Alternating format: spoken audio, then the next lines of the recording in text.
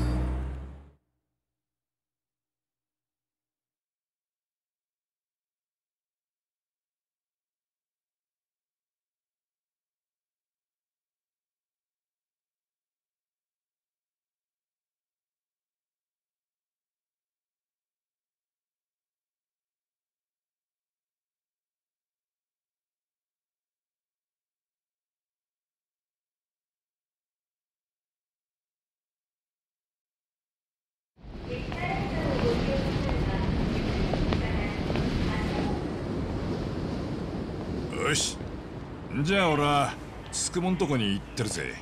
中華街で腹ごしらえしてからな。いつも楽しそうだね海藤さんは。いい店ばっかだぜ。あんだけ数あると一日四五軒は行かねえと。何？どうしたの？見てみろ。阿久津だ。カムロ町の半グレがなんでこっちに？よー阿久津なんでお前がここにいんだ？おいほらこっちだって。怪盗だ。奇遇じゃねえかよ。取り込み中だ。悪いな。あの野郎偉人中に何の用だ？わざわざこっちまで手下引き連れて。もしかして俺らと関係ある？いや向こうも俺らと出くわして面食らってたみてえだ。別件と見たぜ。それにしたっておかしなとこだよね。うん。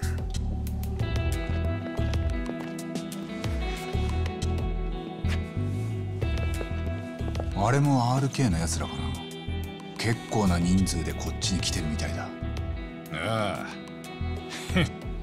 カムロ町だけのしのぎじゃ食ってけねえとかまあ奴らが何してようがわざわざこっちから首突っ込むことはあんねえ。お前は早いとこ高校に行ってこいよ。また後でな。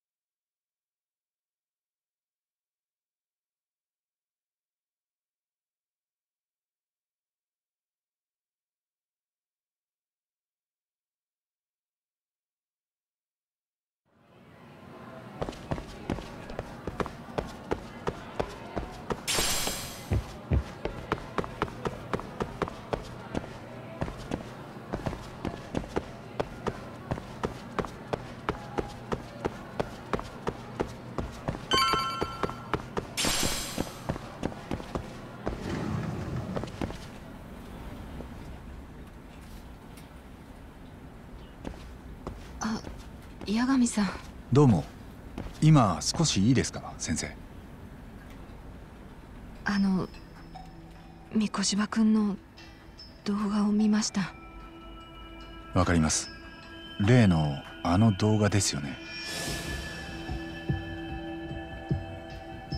江原さんにはアリバイがあったんじゃないんですか？それなら三越場君を殺してないはずですよねの動画は本物にしか見えなくて。ええおそらく本物です。あの動画の通り江原さんは自分の手で三越場を殺したんだと思います。ただそうなると同じ日に起きた痴漢事件の方にトリックがあったことになります。え？先生は江原さんに痴漢された被害者のこと知りませんか？名前は間宮由衣と言います知りませんけど。間宮由衣の旧姓は鈴木でした。彼女は13年前に黒川学園の生徒だった鈴木由衣です。え？鈴木結衣そんなじゃあ江原さんは結衣に痴漢したということですか？彼女を知ってるんですね。もしかして先生と同級生でした。そうです高校の3年生の時に。多分そうじゃないかと思ってました。でも間宮由衣が痴漢被害者だったことはご存じなかった。だってまさかそんな。先生にしたらありえない偶然ですよね。教え子の父親が高校時代の同級生を痴漢してたんですから。それも1日300万人が乗り降りする駅で。どういうことなんです？間宮由衣は江原さんとグルだった可能性があります。彼女は全てを承知でただの被害者を装っていた。それが殺人のアリバイ工作であることも知っていてです。は？あでもなんでです？なんでゆいが江原さんと？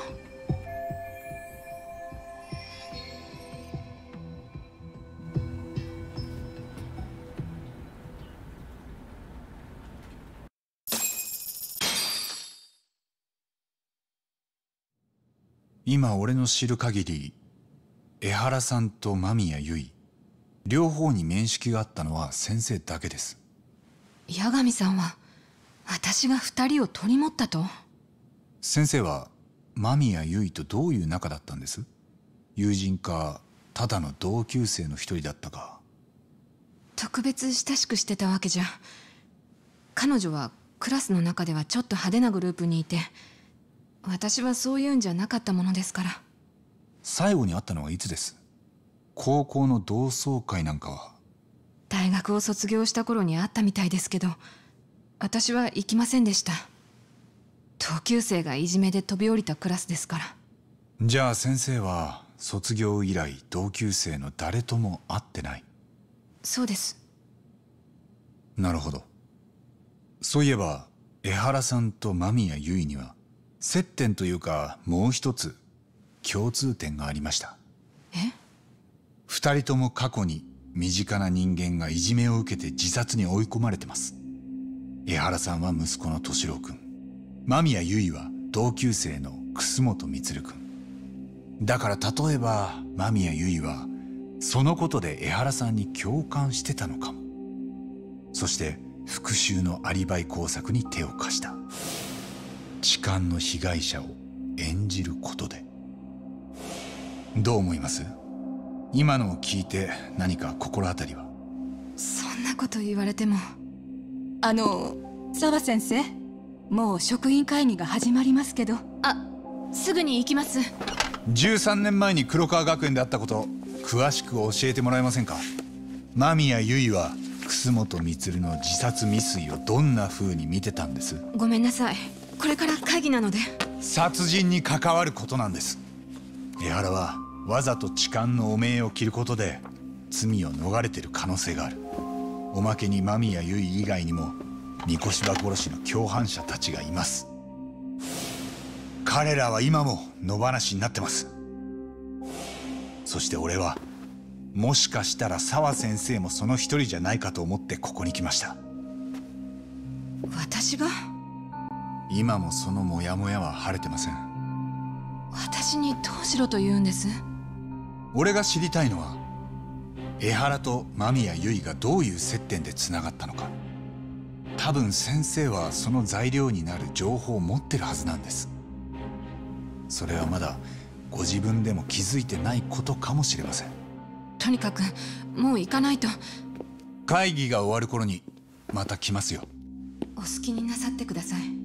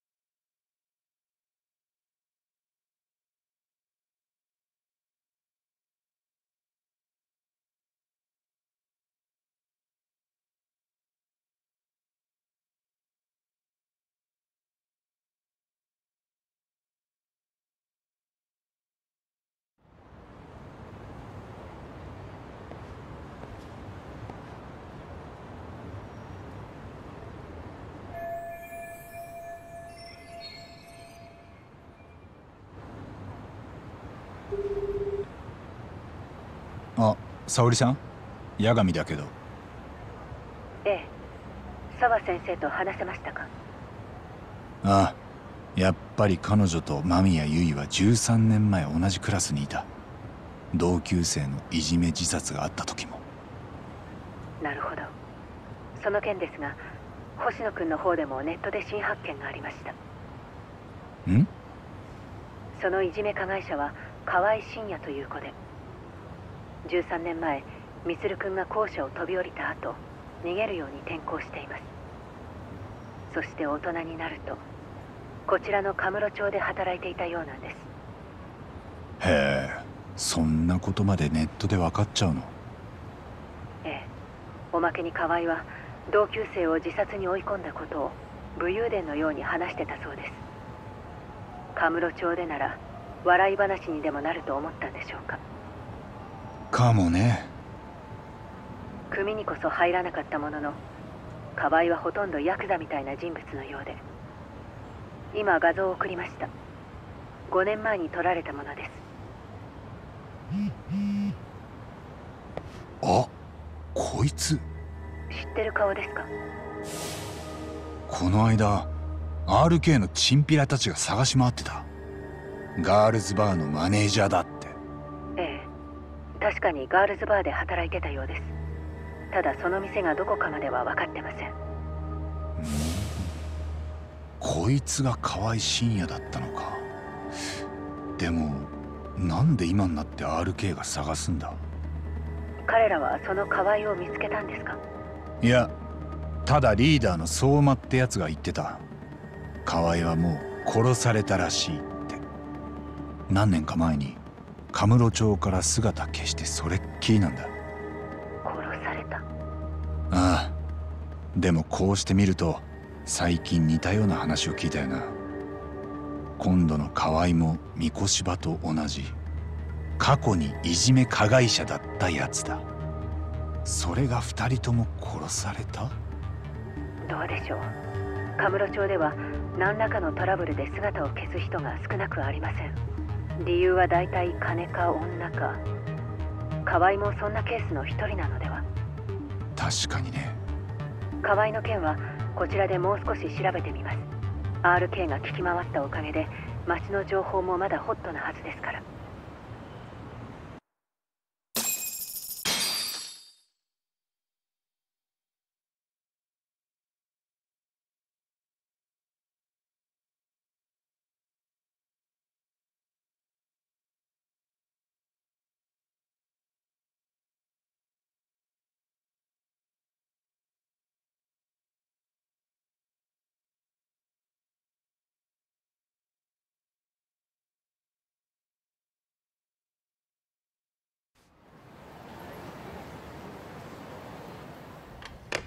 沙織さん？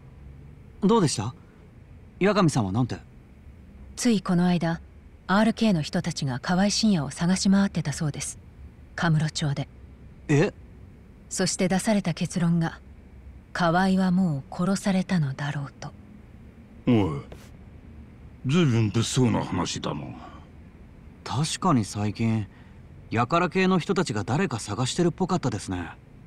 町の人たちに聞き込んだりしてでもなんで RK が河合をまさかうちの事件とつながってくるんですかね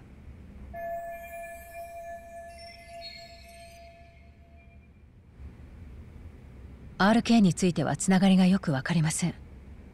星野くんは引き続きネットで河合のことを調べてください。私はちょっと出てきます。え？八神さんに頼ってばかりじゃいられませんから少しは私も足を動かさないと。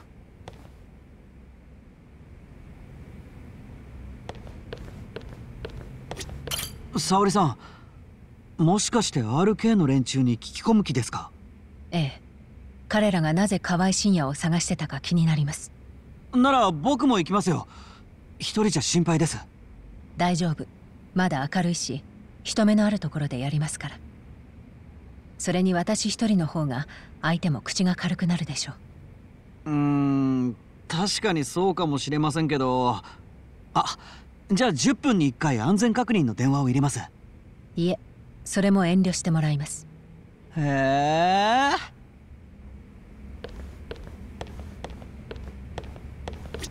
一人で町に出るのか？沙織君くれぐれも気をつけてな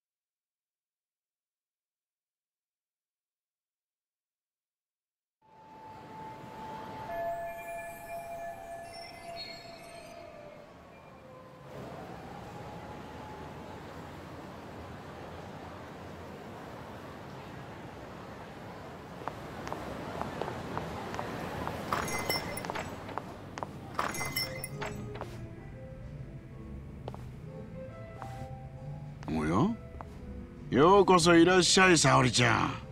嬉しいね来てくれて。お邪魔します。こんにちは。ターボーと仲良しの先生よね。あの子は今日一緒じゃないの？ええ。そう。じゃあ遠慮なくガールズトークできちゃうね。なんだいマリネそれじゃ俺がお邪魔みたいになるじゃないの。ああ。マスターは乙女心分かってくれるから許してあげる。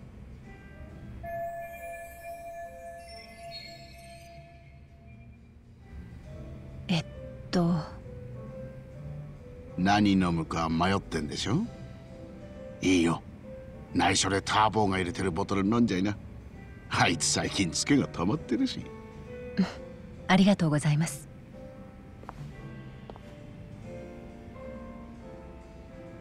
そういうわけで RK の人たちと会えないかマスターに聞いてみようと思ってきたんです。あちゃーやっぱり仕事の用事だったか。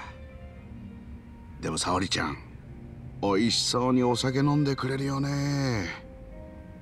ほんとなんだかかっこいい。そんなお二人に言われると恐縮しちゃいます。マリネーと美人が二人並んでるとなんかこう年がいもなくウキウキしてくるね。あらほんとだ。今日マスターいつもより12ヶ月は若く見える。それじゃいつもと変わんないじゃないの。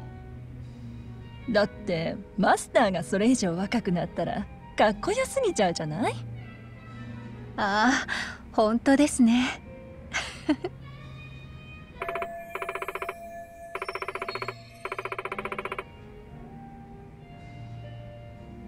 いやしかし RK に会いたいと来たか。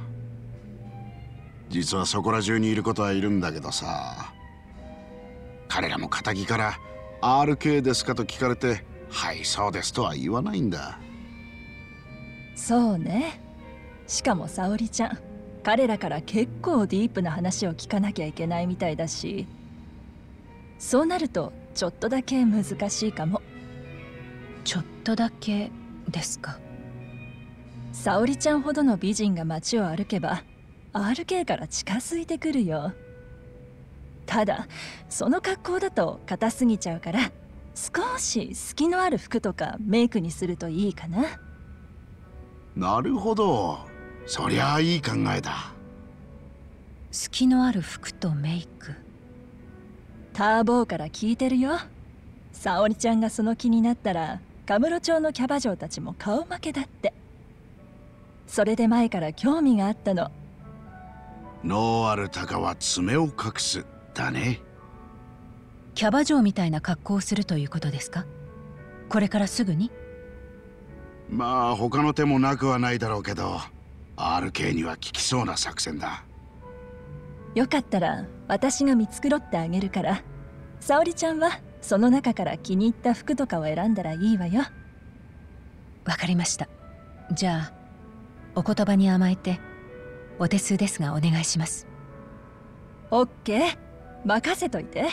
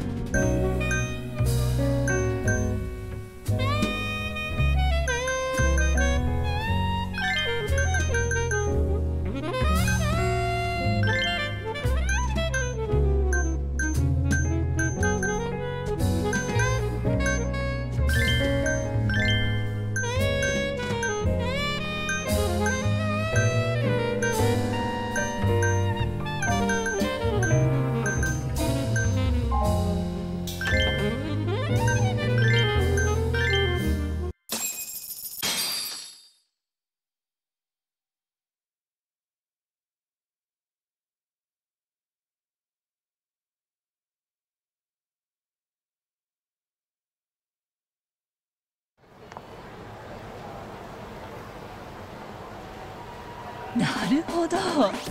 これはターボーから聞いてた通りというかそれ以上ね。マリさんの前でこんな格好。なんだか恥ずかしいです。何言ってるの。本当に綺麗。いやそんな。本当に大丈夫だってば。うん。まだ何か足りないみたい最後に必要なのはプライドよ。私は綺麗だっていうプライド。でも私そういうのは。じゃあ弁護士としてのプライドは？それはあるでしょ？弁護士としての。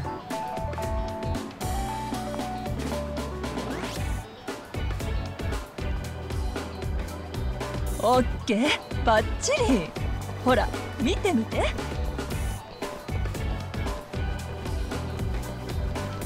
男たちもみんなほっとけないって顔してるよ。こんな気分久しぶりです。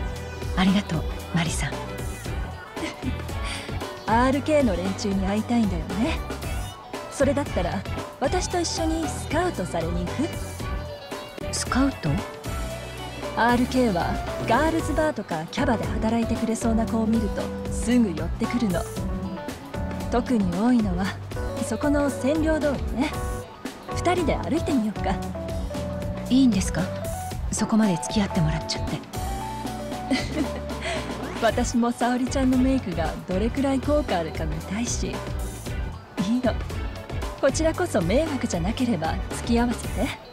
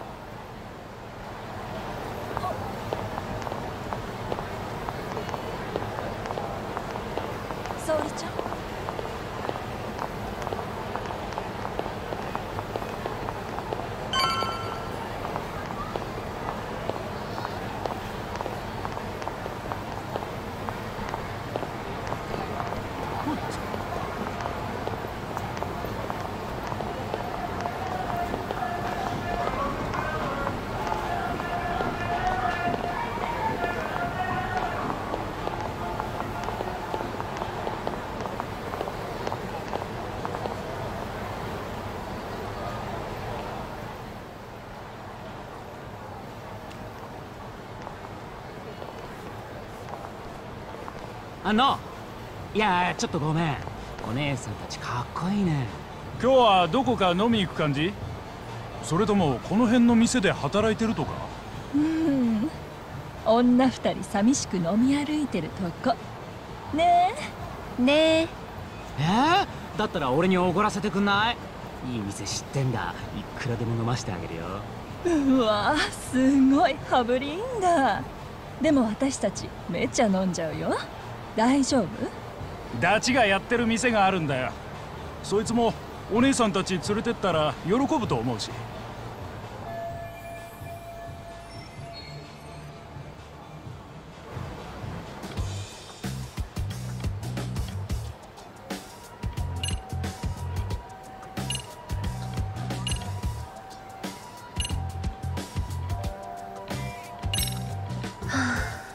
ちょうどいい時にお兄さんたちに出会えたかも。だって今夜は私めちゃくちゃになりたいなって思ってたから。何何どうしたの？最近年下の悪い男に捕まって彼ってすごく束縛するから私もいい子でいなきゃって思い詰めちゃってたの。だから今夜だけ自分へのご褒美に自由になっちゃおっかなって。あら沙織ちゃん。そんなこと私にも言ってなかったのに？俺でよかったら一緒に乱れますけども。沙織ちゃんとめちゃくちゃになりたいっす。でも今一緒にいて楽しいのは RK の人たちだって聞いてきたから。あそこの人たちってなんかいろいろすごいんでしょ？沙織ちゃんやっぱり RK の人とじゃなきゃ嫌なの？私はこの子たちも可愛いと思うけど。なるほどね。だとしたら俺たちって運命の出会いだったのかえ？それってどういうこと？ままさかもしかしてあなたたちって？まあ大きな声じゃ言わねえけど RK の中でもちょっと知られてるもんでね俺ら。少なくとも俺らなくしては今の RK にはなってないよな。俺もここまででかくなるとは思ってなかったさ。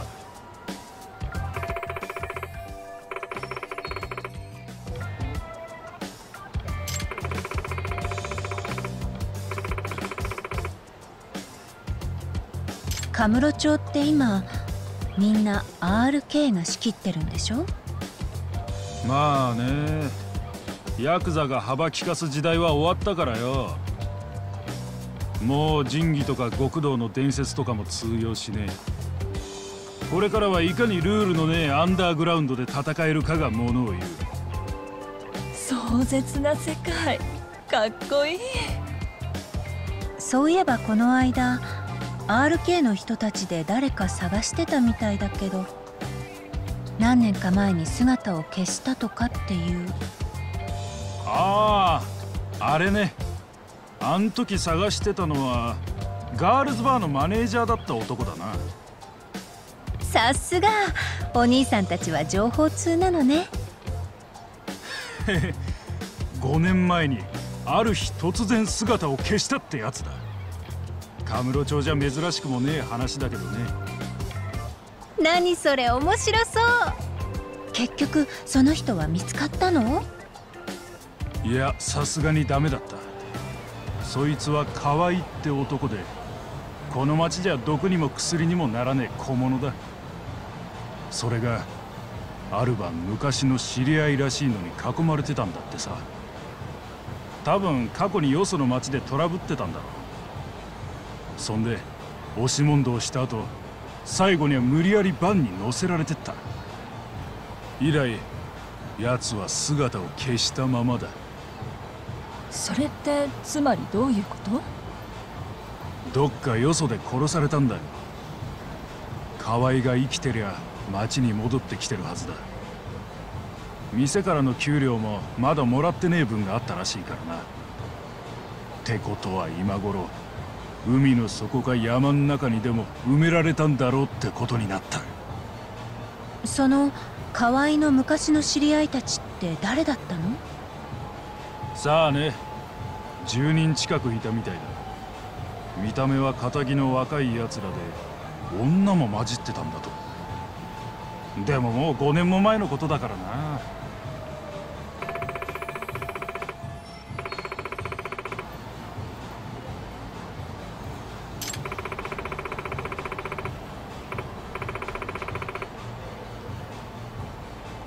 その目撃談があるということは誰か河合信也がバンに押し込まれるところを見てたということですよね。5年前に。そう。見てたのは河合が働いてたガールズバーの子だ。まあ俺らはその子に話を聞いたってやつからまた聞きしただけだけど。そのお店の場所は？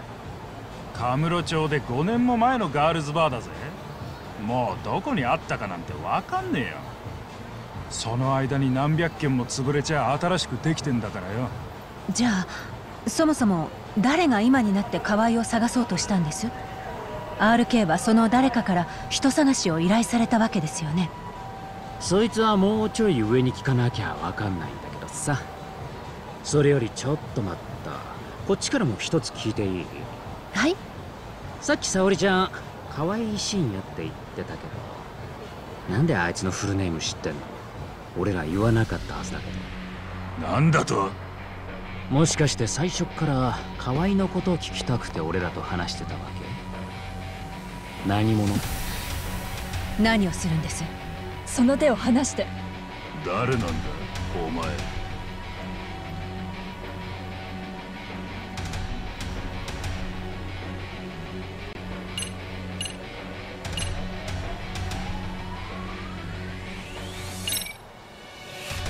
源田法律事務所の弁護士で白崎沙織と言います。速やかにこの手を離しなさい。あ弁護士だったら何だっつうんだそんなに偉えのかよ。話さないと。あなたにとって面倒なことになりますよ。そんな男たぶらかすような格好して。言うよね沙織ちゃん。ああ。ざけんじゃねえぞ姉ちゃん。沙織ちゃん！おあれ？目障りだぞ。チンピラ。東さん。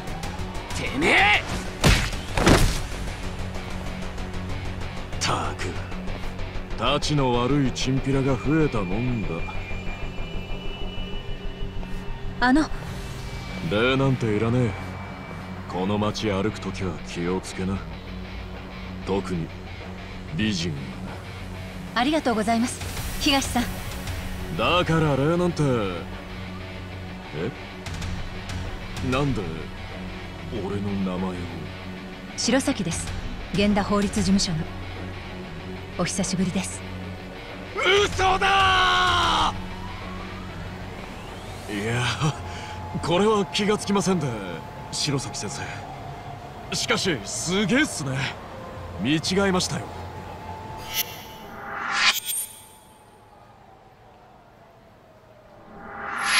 ありがとうございました東さん。私はともかくマリさんを危ない目に遭わせるところでした。本当に助かりました。若くて強くてかっこいい。私タイプかも。さっきの奴らは RK ですね。最近街中で調子づいてるんですよ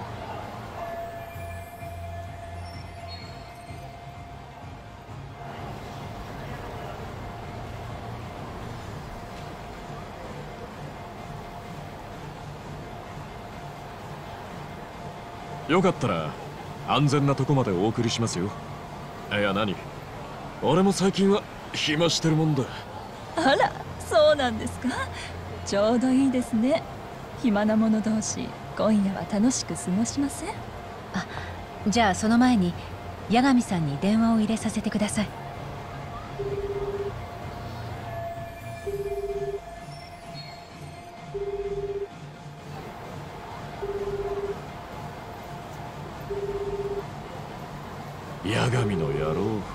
何してんですかね。白崎先生の電話には2コール以内に出ろってんですよ。出ません。おかしいですね。もう一度かけてみます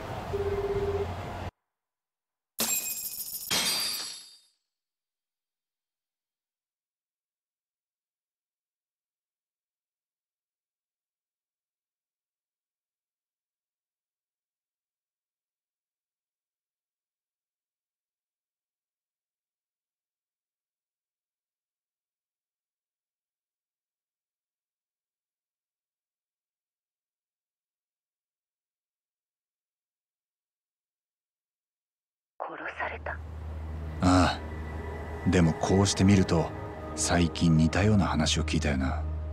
今度の河合も三越場と同じ。過去にいじめ加害者だったやつだ。それが二人とも殺された？どうでしょう。カムロ町では何らかのトラブルで姿を消す人が少なくありません。理由は大体金か女か。河合もそんなケースの一人なのでは。確かにね河合の件はこちらでもう少し調べてみます。RK が聞き回ったおかげで町の情報もまだホットなはずですから。ああよろしく。